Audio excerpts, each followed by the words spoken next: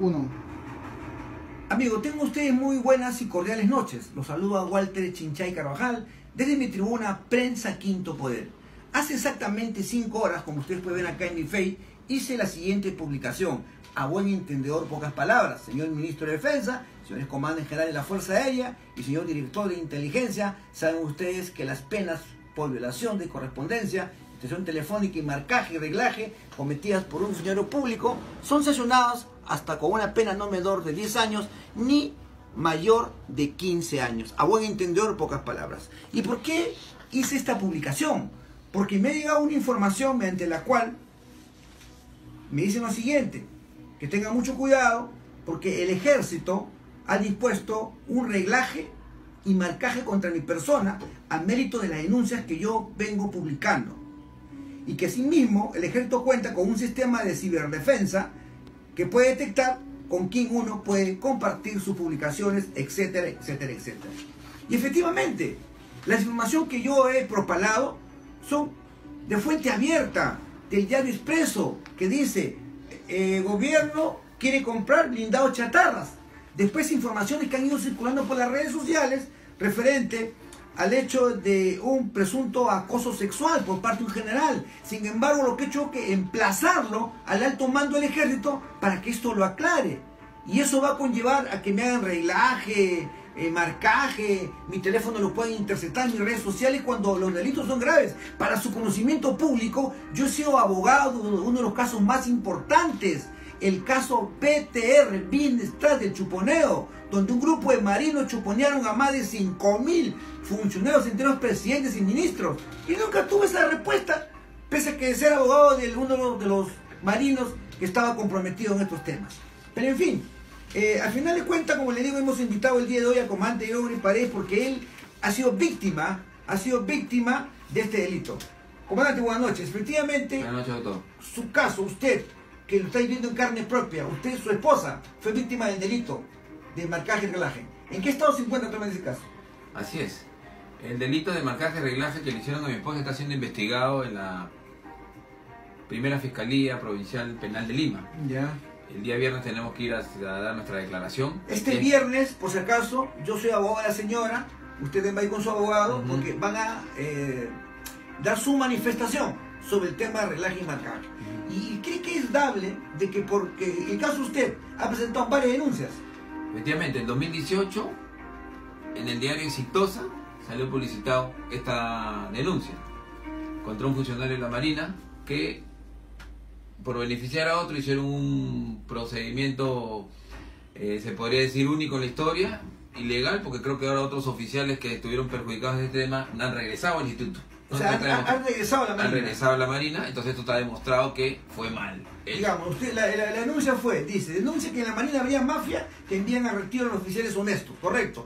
Estos oficiales honestos, algunos han regresado. Así es, han regresado varios, por lo que tengo entendido, sí. Así, efectivamente. Judicialmente. Judicialmente. El otro punto acá eh, que salió en exitosa fue el contramirante Colbert, que sigue en Estados Unidos, en la HIT en Washington a pesar de que acá tiene investigaciones en la Fiscalía. El caso sencillo es que este almirante está siendo investigado por la Fiscalía del Callao por unos cobros indebidos que ha hecho y muy a pesar de eso fue nombrado por el presidente PPK, si mal no recuerdo, en ese entonces, ¿no? Claro. PPK a, Estados Unidos, como agregado. Una denuncia más que presentó. ¿Otra denuncia que ha presentado? La última, que es la que más este, ha causado polémica y la que... La más escandalosa. La más escandalosa. Ha tocado la fibra sensible de estos señores. Así es. Encima de esta situación ha generado, porque me habían avisado por el teléfono, un reglaje hacia mi familia y a mí para saber quién me daba la información.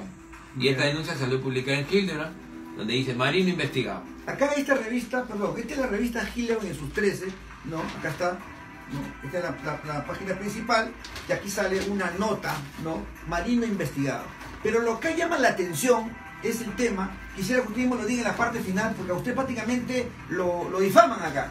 Acá dice, el denunciante Gregory Paredes, porque tenga presente autor que este proceso estaba prácticamente frío, prácticamente olvidado. Y yo soy el que lo activo, yo soy el que le meto fuerza a este tema y, se, y, se potencia de tal forma que ahora todo el mundo está haciendo sus declaraciones, delindando responsabilidades. ¿Quién es la parte final? La parte final dice, ¿no?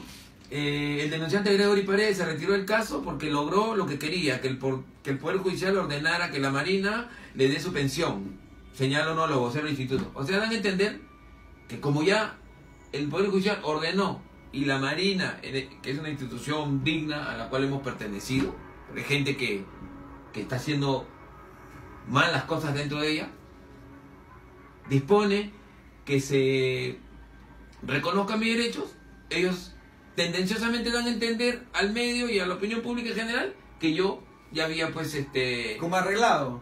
tanto arreglado no se podría decir había retrocedido porque ya conseguí lo que quería yo, Pero- pero- yo no he retrocedido Claro, pero también que hacerle entender a la gente que esto no ha sido una decisión administrativa. Que el comandante general de Marina o personal firmó una resolución, toma Gregory, para que te quedes callado, para que no anuncies. Fue por una decisión jurisdiccional, por una sentencia judicial que tenían que cumplirla. exacto doctor Porque entiendo que esta gestión sí la cumplió, la anterior no quiso cumplirla. Ah, sí, sí, eso ya lo comenté en su momento.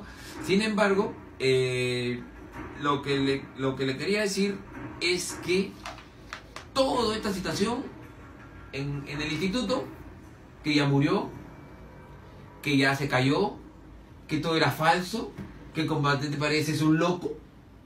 ¿Cómo va a ser loco? Esto no se ha caído, esto está vivito y coleando. Claro. Esto no ha muerto. Casualmente, hoy en la mañana, de acuerdo al video que usted ha sacado del ministro que da una declaración sobre la adquisición de carpas, he ido a la Procuraduría, he hablado con el procurador y le ha interesado de sobremanera, de sobremanera le ha interesado esa declaración porque aclara de manera meridiana cómo tienen que ser los procesos. Claro. ¿no? Y está viendo la posibilidad, porque yo se lo voy a solicitar, de que le tomen la manifestación al ministro y prácticamente ese pronunciamiento del Ministerio de Defensa va a aclarar el tema y va a desbaratar todo lo que ellos han hecho con este proceso. A mí también me llamó la atención, por eso publiqué las declaraciones del ministro de Defensa, el actual ministro de Defensa, que en RPP manifestó que eran transparentes todas las licitaciones, todas las compras, ¿no? Y como dijo el periodista, lo importante es que la Marina requiera, ¿no? No al revés, que lo requieran a la Marina las compras, ¿no? Pero en fin, eh, para terminar, yo solamente quiero manifestar de que también me tomó conocimiento de que altos mandos del ejército habrían reunido oficiales para prohibirle que se contacte conmigo o que den una, una información contra el ejército y que en todo caso deberían seguir los canales respectivos a través de la inspectoría. Está bien, es su disposición, pero quiero aclarar, señores, que el canal para denunciar la corrupción es la Fiscalía de Corrupción. O en todo caso, sus denuncias pásenmelas a mí, que yo inmediatamente los paso al procurador para que tome acciones respectivas conforme a ley. Y en cuestión al reglaje y, y a lo que quieran hacer, no les tengo miedo, háganlo. Simplemente asumirán las consecuencias que la ley manda. Y ninguna disposición, ninguna resolución interna administrativa puede estar encima de la Constitución y lo que dice el Código Penal. Para terminar, comandante, sí. Lo único que yo quisiera decirle y retransmitirle directamente al señor ministro de Defensa Jorge Moscoso Flores que se aboque a los temas sensibles de corrupción de acuerdo a lo que él ha dicho. Él ha dicho que va a luchar contra la corrupción, que, que es un tema nacional, que él está llano a, a combatirla. Sin embargo, sin embargo, eh, vemos que está teniendo como viceministro al almirante Ríos que está investigado en la fiscalía por este mismo caso.